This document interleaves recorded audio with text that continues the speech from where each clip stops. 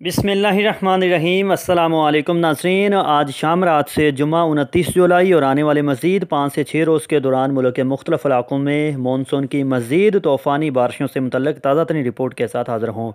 मौसम के हर अपडेट से बाखबर रहने के लिए बर मेहरबानी वर्ष चैनल को सब्सक्राइब और वीडियो को लाइक ज़रूर कर दें। बहुत शुक्रिया। ताज़ा तरीन मौसमी सूरत के मुताबिक मानसून की तूफ़ानी बारिशों का रुख मुल्क के बालाई वस्ती, शमाल मशरकी और मगरबी इलाकों की तरफ़ हो चुका है, जबकि सुबह बलोचिस्तान के बहुत सारे शमाली और वस्ती इलाकों में आने वाले अड़तालीस घंटों के दौरान मजीद तूफ़ानी बारिशों का इम्कान है। पिछले चौबीस घंटों के दौरान सबसे ज़्यादा बारिश काकोल में उनहत्तर, जबकि पंजाब के इलाके खानपुर में उनचास मिलीमीटर रिकॉर्ड हुई।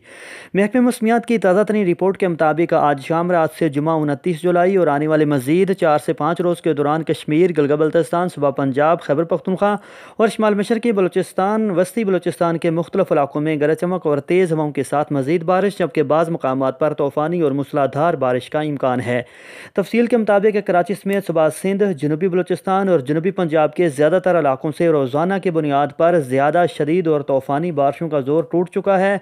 आने वाले दिनों में शदीद मूसलाधार बारिशों का ज़्यादा फोकस कश्मीर गलगा बल्तिस्तान पिशावर समेत सुबह खैबर पख्तनख्वा, लाहौर खिता पठवार मरी, इस्लामाबाद, अटक, जहलम, चकवाल, गुजरावाला, रावलपिंडी, फैसलाबाद, सरगोदा और साहिवाल डिवीज़न ओकाड़ा बहावल नगर समेत सुबह पंजाब के बेशतर बालाई, वस्ती और शमाल मशर के इलाके होंगे, जहाँ दो सौ मिलीमीटर तक तूफ़ानी बारिशों का इम्कान है।